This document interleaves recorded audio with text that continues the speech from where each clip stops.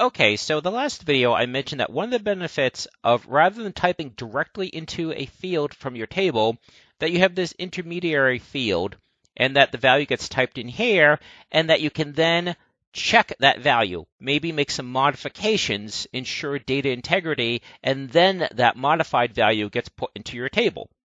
So let's take a look at why you'd want to do this.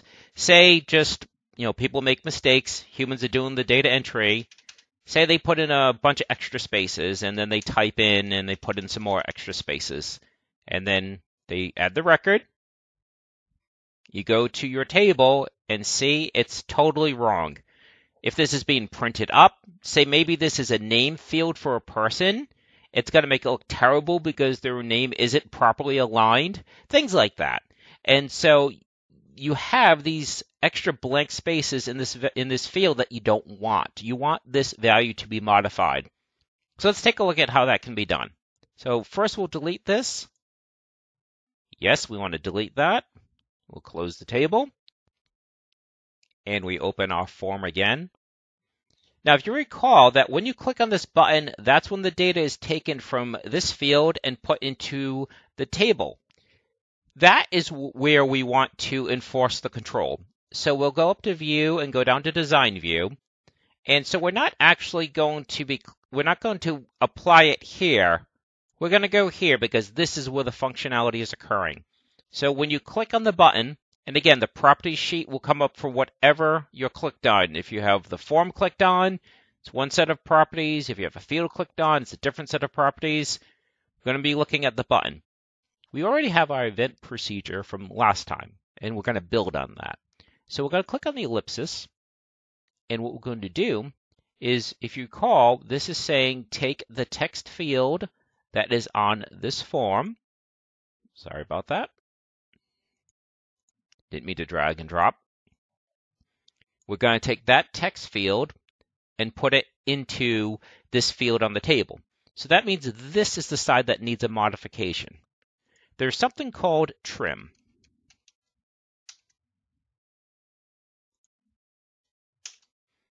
So you're just taking what we had there, putting it into parentheses next to the word trim. So it's saying trim this field or trim the value within this field to be more exact.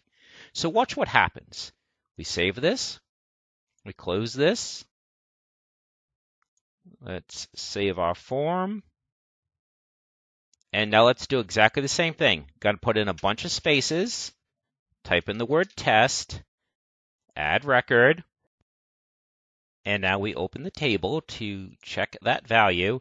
And this time you do not have the leading spaces. The leading spaces were trimmed. So just like that, you've begun to enforce some data integrity rules. And then it's just building on that for whatever rule you're looking to enforce. So let's go back and clean up the form a little bit more. Let's delete that record since we don't need it. We'll close the table, go back to the form, go to view, and go to design view. So originally we started with the collectible. So go to add field, and there's collectible up there. Let's add cost. So we're just going to drag and drop this here. We're going to get rid of the label that comes along with it. And now we're going to add another field, again, so that you could type into it and make changes to it, enforce data integrity before it gets entered into your table.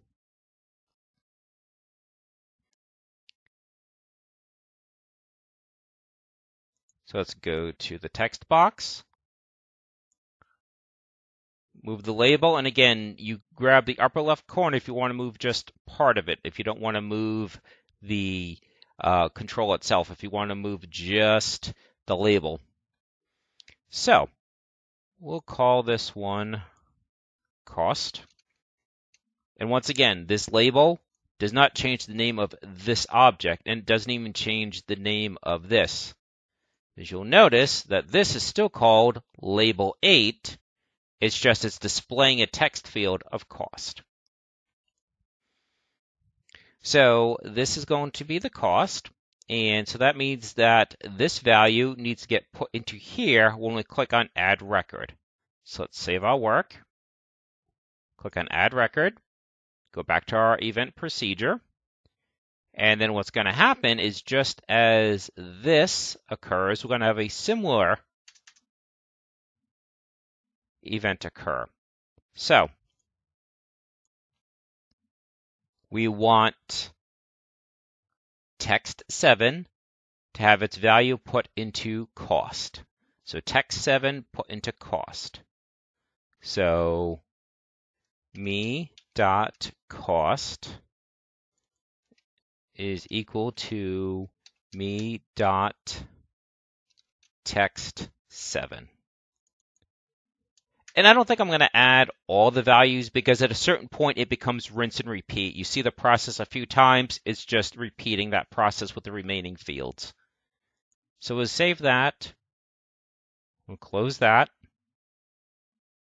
Save our form. Go to view. And as you can see, the new value is here, but this is visible. We don't want it to be, so sorry about that. Go back to design view. It's already selected. Format, visible, no. Let's try that again. So we save it, view. So it's not there, so collectible would be whatever, another movie.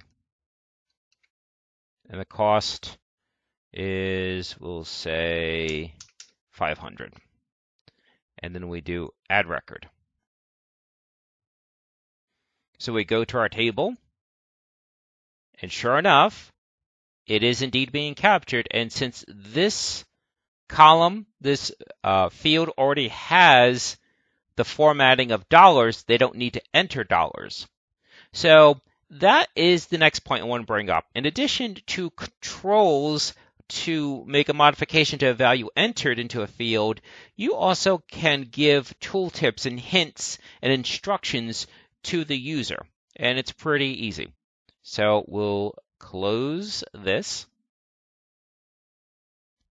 And we're going to go back to our form, back to view, back to design view.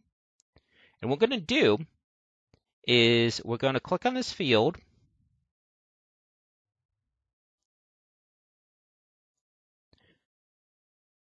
We're going to go to Other. And in other, you'll see a few things such as name, label name. So again, one is the name of the object that you're typing into. This is the label that goes along with it. And we're going to come down here to control tip text. What this is, is this is like a hover box.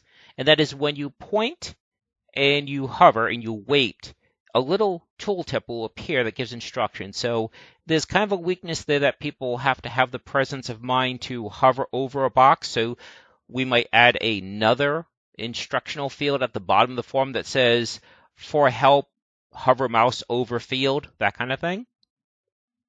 So control tip. Do not enter dollar sign or decimal. Or you could say enter number only, uh, uh, numbers only, that kind of thing.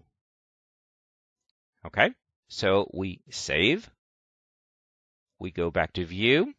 Watch what happens. I point at this, and there we go. So it takes about, I don't know, maybe one or two seconds, but now that easily, you are now given instructions to your end user. So let's go ahead and do what we said. We'll click on view, click on design view, and at the bottom here, we're going to add a label since we don't need it to really function. And just put this here. And this is just a free edit field, just like uh, this one at the top, I believe, was a label as well. So we're just going to put in maybe something like a couple asterisks to get people's attention and say hover over a field for quick help. Something like that. A couple more asterisks. And you have to be careful just how much information you give to people at any one time. And by the way, I, I was just shrinking that. I just pointed at the dot on the left, on the right side, and just shrunk it in. Just makes it easier to center. That's all. And again, there are tools for centering. I just don't want to go into that right now. So we'll save this again. View. And so now you have the instructions here. Hover over a field for quick help. You hover over cost. Do not enter dollar sign or decimal. Okay, I think that's just about it for this video. I don't want to go through too much. Obviously, again, like I said, the layout of this is terrible. These things really aren't centered right and things like that. Like collectible really isn't centered over the box. Little things like that. And it really, it's amazing how much extra work you have to put in just to make things look a little bit better. So I tend to do that at the end. I try to get the functionality in place and then I start doing the the actual layout as far as how I want it to look. I have a basic idea, but until you know exactly what's in the form, you don't want to get too in depth with the layout because then you may may turns out you need to add extra things to the form and now you have to change the layout. But I think that should do it for about now. So we've reviewed how to add a tooltip when you point at a uh, box. It won't show in now because it's a design view. And we showed a rudimentary enforcement of data integrity. So both would give instructions to people about what to enter, and if they enter something wrong, how to intervene with that. There's other things we could do. You could just stop and, and, and say this value is not allowed, but uh, we'll get into that later. And you have to be very careful about that because certainly if something is completely wrong, you don't want garbage to, to be entered into your database, but you have to be careful about um, how stringent you are with that because you, you still want the system to be usable. So sometimes you can meet the user halfway. Like I said, if they hit a few spaces rather than saying, eh, sorry, you can't enter spaces, it's like, you know something? We've got this. We can get rid of the spaces for you, you know, and, and, and move along.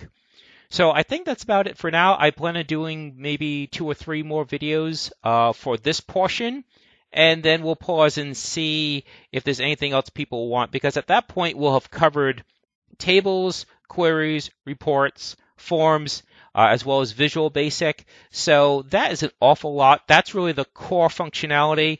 And at that point, it's just kind of self-study where uh, you do research to see what other commands can be done. I have another uh, another entire series on this channel already. Uh, the audio isn't so good in the first couple of videos, uh, so that's one of the reasons why I decided to re-record.